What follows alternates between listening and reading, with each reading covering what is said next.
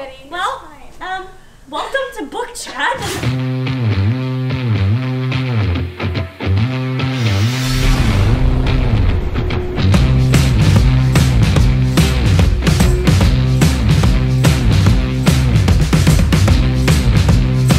yeah. and I'm Lauren. And I'm Sasha. And I'm Natasha. Today we're going to be talking about creatures, which is why sur- we're like surrounded by all of these lovely things, like this thing. It's dead. It was alive once. Not anymore.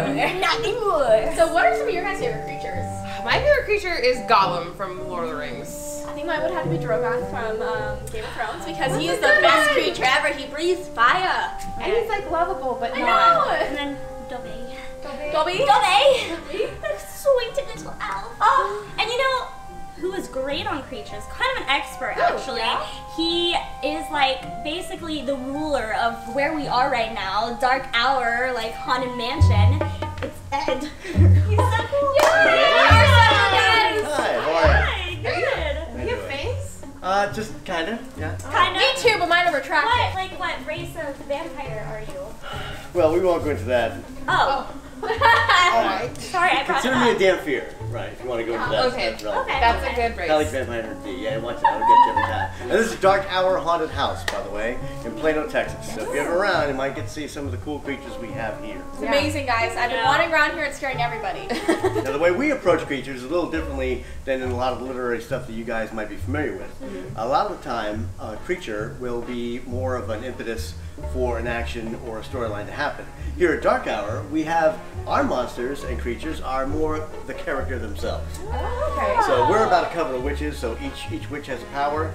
So right now we're in the room that's dedicated to our witch of transformation, our werewolf witch, who also is a gypsy, and uh, she can make werewolves of wolf men. There is a difference.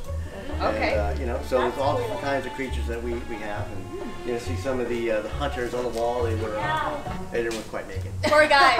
No, but they are didn't. actually? I think that creatures are have such a powerful um, plot in any story or movie or TV show. Like I know that a lot of people love creatures either because they're cuddly or they're friendly, but there's also lots of creatures that are very evil and sinister. How did you really incorporate uh, both of those elements into your um, haunted house? Where are there some that you like, you know, are kind of cute, like the dragon over there, or um, do you like to make it more sinister of a feel? Well, that, that, dragon skull is, is a good example. Yeah. So we'll, we'll use those something like that as a reference because we have one of the Yeah. witches uh, is Qing Lung. She is a Chinese witch of dragons. So uh, she's part dragon herself. So again, that lends us to pretty much explore any of the creatures that you may want to to Yeah. have in any kind of attraction. We're not limited by Yeah. by really anything. So Wow. it allows us to kind of stretch it out. Each show we do eight different shows a year and has a different witch, different power, Yeah. different monsters, different Okay. creatures. Oh. And so they each one of those has four usually archetypes that will lead that show. So for this one, for example, with the werewolves, you've got werewolves, you've got gypsies, you've got werewolf hunters, and you've got wolfmen. So in between, Wow. they're, they're the four archetypes, and uh, they're and they're running around. That kind of makes it easy to follow. And uh, so we always have a bit of a story, but if you just want to come in and be scared, obviously, Yeah. our creatures can do that. Yeah. Okay, Very so what's your favorite type of witch that you guys have here? Boy, uh, we have so many. There's Uh, there's 13 different ones. But, well, Simone Noir is our head witch, and she's a demon Okay. summoning witch. So um, you'll see her in, in most of the shows. She's your classic, you know, um, like Wizard of Oz kind of black Okay. outfit kind of Yeah. witch with the, the hook the nose West, and stuff yeah. like that. And then we have our, uh, we only have one pretty witch, and that is our Heartbreak Witch, Linda. which is in February. And so she was uh, spurned, so she's cast the world with darkness. That's our Lights Out show. Okay. Oh, it's kind of like a story that you're saying. Yeah. So let me actually reach out to you ladies. Is what type of witch would you want to be? Oh gosh, I don't even know if I want to touch that. However, um, I want to be Glenda the Good Witch. Glenda the Good Witch. Can I make up a witch? As long as Yeah. it's not sandwich. Oh! If you know that joke, it's funny. I was gonna say witch of food, so. oh my gosh, I want to be like an herbalist witch that uses like you know elements from nature, bringing Yeah. them towards me, and then also being like you know maybe demon summoning on the side. Yeah. Oh, Never okay, yeah, just something, you know, a little bit on the side We there. do have a nature witch. Good.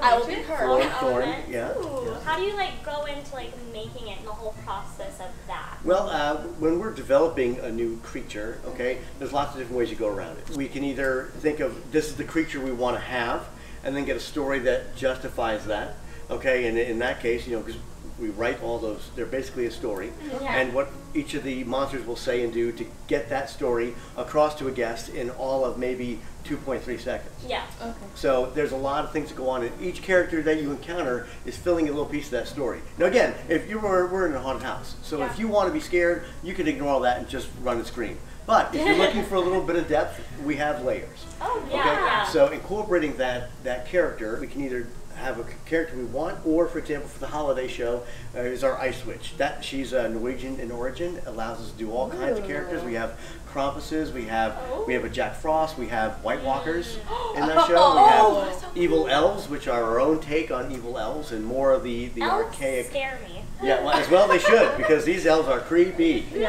right? Krampus. And uh, Have yeah. you seen that? Yeah. So yeah, all kinds of good stuff. They're little And, uh, yeah, they're fun, all right. that cold theme allows us to bring in all different Yeah. kinds. Wendigo, we've got, um, you know, so all different kinds of creatures. Anything that have, may inhabit a cold environment will allow us to do that. Wow. Cool. Because I don't really think of like winter or you know Christmas Yeah. as necessarily sinister. Or So creature. That, that creature is. Yeah, exactly. Yeah. I think that's so interesting, especially with creatures like me as an author. I love creating creatures and different forms of them um, in writing, but actually getting to see them being brought forth in like a Into, haunted house like, or into reality. reality. It's like, okay, I don't want you here, but Yeah. I'd like you in my books. Yeah.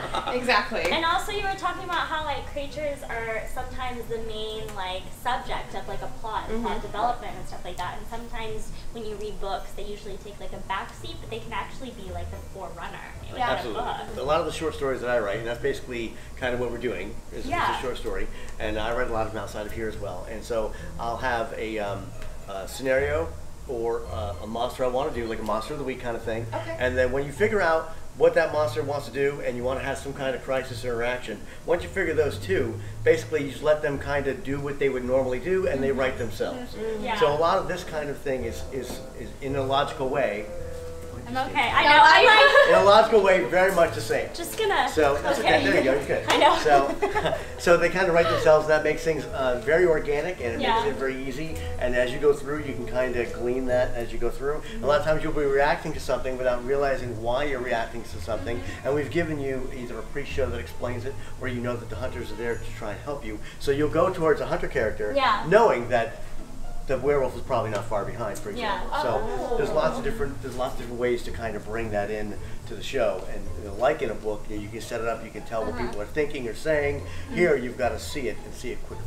And I also like the like the development of creatures as well. Like in mm-hmm. Sage Alexander, you know, they have the creatures like the Slothman and the Crab Monster, but in the new book, Sage Alexander, Blood of Seth, like they're gonna go in more in depth in the world, and that's even like cooler to see the development of the characters because they are, they are, and they have the arc and stuff like that. So going into a series and like being able to experience that is really cool, and that's what you're doing here. Yeah, and with that mythos, you could literally have almost mm-hmm. any character. Yeah. Which again, you know, brings it into you know a whole other realm of really cool possibilities. This has been such a great discussion. I think that we're about to go into some creature making in just a Yeah. second. Laura, do you want to discuss a little bit about that? Yeah, so uh, stay tuned because like I'm gonna get turned into a creature. Ooh, It's even more of a creature than really she already is. great. Thanks. I love you, Laura. I love you too. for you. Kind of scared. Hey guys, we are back, and I'm back with Ed, Hello. And he's gonna turn me into a creature. I'm really excited. We're in the makeup room now, and there's all kinds of masks and things around us. And uh, each thing that you see in here was uh, sculpted here, molded here, and uh, painted here and finished here. Today we're probably going to make you a zombie creature. Ooh. Okay, a zombie creature, which Yeah. we we have a whole show dedicated to that. And uh, some of the other ones we have, we have witches, we have all different kinds of things. Okay, For some of those, we we make uh, our own foam prosthetics. That's a foam latex prosthetic. Okay, and that's uh, sculpted in clay, and then a plaster mold is made, and then that's baked in the foam oven, which we have here. Uh, that we made, and then uh, this gets pulled out and it's ready to go. Your face is kind of small for this one, so for someone your size, we would probably do a mold of your face, Oh, and then we could sculpt right on that, and that would fit you very Wow. well. So this is made for a, a larger face person, but for example, okay, we put that on, and no, this isn't cut out all the way, but you could see over there, and that would change your, the shape of your entire face. That's okay? wicked. So what we're gonna do today is gonna do some makeup, and uh, Okay. we do most of our characters uh, in under five minutes. If they've got a prosthetic, maybe seven. And some of our monsters we do in under a minute. If we're doing film or commercial work, of course, we take a lot more time. Some of those makeups can take up to an hour to three hours, depending on what we want to do. Yeah, I've sat through that. It's, Right, it's fun, right? something. We'll do a couple of quick techniques, okay, that people at home can do. This is called um, collodion or rigid collodion. You get it from a lot of your end uh, costume shops. And uh, if you've seen the movie Platoon, I know it might be a little old for you, but um, they had a, a guy that had a huge, huge oh, scar. the, yeah, the gap. right? Yeah. And that was all done with this. So the way this works is this goes on your skin, close your eye, okay? And what it does is your skin is very flexible, as most people are, and I'm gonna do it in the most flexible part of your skin, which is right by your eye. And as this shrinks, it's going to uh, pull your skin together and create a scar effect. It's also very uh, potent smelling. Yes, yes, well, that's why I keep eye so the way they did Platoon, I believe it was like 10 different layers, and uh, each layer pulled in a little more and more, and then a tiny bit of makeup on top of that kind of gives it a nice aged look. Nice being horrible, and already you can see it's starting to dry up a little bit there. And then have you worked on movie sets where you you did this sort of stuff? Actually, I got into haunting through special effects makeup. I was self-taught, and uh, my first paying gig was for the New Jersey State Police, doing one of those blood on the highway videos. Okay. A lot of gory stuff. So blood is easy. That's why a lot of people get into it. Yeah. Now, while that's drying, that's going and you can see on the camera, that's especially here, that's starting to shrink up. Okay, so zombies, depending how old the zombie is or how long it's been, you know, crawling around, Mm-hmm. okay, they start to dry up and desiccate, and so that, that's one way to get that effect really quickly. Yeah. If we're not going to do a prosthetic, another way would do uh, latex Okay. and some paper towels, and that gives Yeah. you a very textured thing. If you're doing this at home, that's a very quick, easy way to do it. Pro tip. Always put a little latex on your arm to make sure you don't have any kind of latex allergies. Oh, yeah. Okay. You might not know you have one until you have one, and you don't want to practice that on your face. So that's shrinking up pretty good. That'll shrink up a little bit more. Okay. What we're going to do now is we're going to give you a base. We're going to lighten up your skin. Okay. Because uh, healthy skin is always, you know, pink and red. Yes. Okay. When you're sick, you get paler. Yes. And then you see more of the blue come through. Okay. And then if you're desiccated, you're either blue or green, depending on putrefaction. Mm, yummy. Okay. So here, you want to tuck that in your shirt for me? I can feel my skin shrinking. Yes, you can. Quite strange. Okay, you see it actually creates a divot, okay, which the, the makeup is going to bring some of that out. All right, Oh. we're going to do some airbrush makeup, and you can use a really expensive airbrush. These are actually very inexpensive. They pour out a ton of paint. The biggest thing with airbrushes is you have to clean them all the time, or they clog. These are alcohol-based paints, so our actors don't sweat them off. You can use water-based, a lot easier to get off, a lot easier to clean, but of course. If you're Yeah. in a hot area, you're going to sweat You're it off. sweating. This is a $10 uh, airbrush from Harbor Freight, okay, which they have all over the country, and uh, it just pours out a ton of paint, okay, if you can see that, okay. Ooh. Okay, it's a lot of paint. Now, if you do it really quick and, and small, you can get a you can get a pretty tight little line. Okay. Normally, we use these for mostly for basing, not detail work, unless we use a stencil. Right now, we're just going to give you a quick base. So we're going to give you a, uh, a bit of a white base, and then we're going to hit you with a little bit of blue. Okay. I Want to make sure that that's there. Okay. Now, here's the thing: this is how it's going to work. Uh-huh. It doesn't smell that great. it's going to blast you. It's cold. Okay? Okay. You've got a blast of air, and you're going to start. That's okay. Okay. All right. And I'm going to when I get by your nose, I'm going to tell you to hold your breath. Okay. Got it. And I'll tell you when you can breathe again. Okay. So you don't have to do that until I get by here. 'Kay. Okay. Ready? Okay. Here we go. It's okay. You don't have to skip. Okay. You do it really light. Okay. And you see it gives it a nice even. Kind of keep your eyes closed, just normally closed. There you go. Just normally closed. There you go. You're fine. I promise I will not paint your eyeball. Okay. As we go around, okay, it gives it a nice even coat. Okay. Now if I were to press this down, I can put a lot of paint on that face really fast. So if we're in a hurry, you'd get a heavier coat of paint. A heavier coat of paint cracks, so we want to do light. Okay, now hold your breath a second. Do it by your nose. Okay, there you go. That's good. Okay, good. There you go. Okay, you can breathe. Okay, and I'm just gonna scoot around to this like a side. spa. So now we've made you look a little more ghostly. Okay, a little white. Okay, now we're gonna give you a little bit of blue. Okay, now where we put that blue, the white is gonna show underneath. Close that. Good. And again, this is a very basic, quick makeup, but you can tell already the secret to any kind of makeup is blending. Doesn't matter whether you're doing, uh, you know, beauty makeup or or special effects makeup. This blends as it goes on, so that saves a lot of time. There you go. That's fun, isn't it? yeah. We're actually going to use a red, okay, but we're just going to mist it.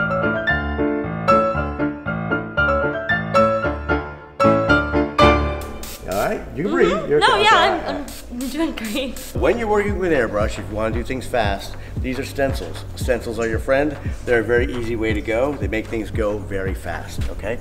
We're gonna speed this along right now and finish this up and you'll be amazed, hopefully, how quickly this comes together.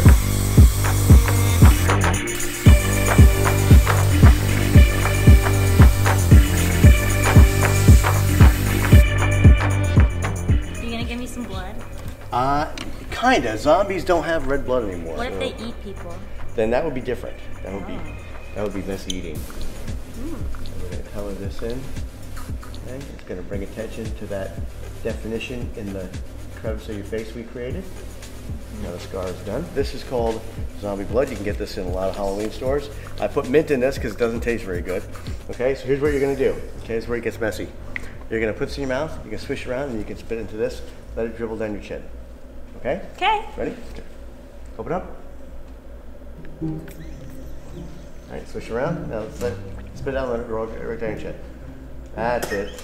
Isn't that? That's pretty. Yeah, there you go. You got it. That's really a chunk on there. Okay. Good. All right, now smile for the camera. Oh, it's not even red. No, I told you, don't have red blood anymore. Ah. And that is. I'm glad you're such a good sport. It tastes so good. Oh, I don't know about good. It does have a flavor.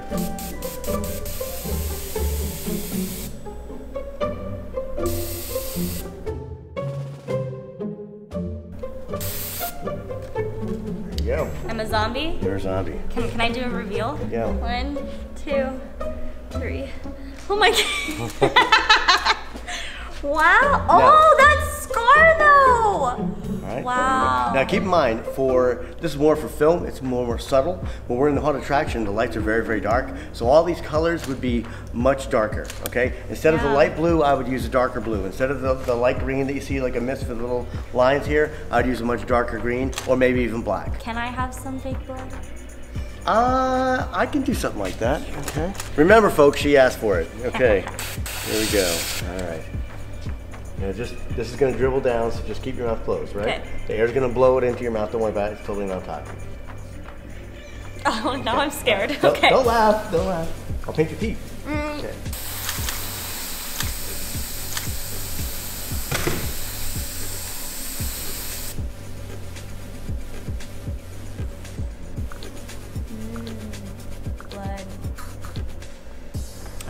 This looks great. Thank you so much. She said thank you for that. That's great. Yes, this All is what. I've wanted my whole entire life. That's pretty scary, actually. Well, in that case, here. It's what I live for. Open up. Oh no. Open up. Why? Like, ah.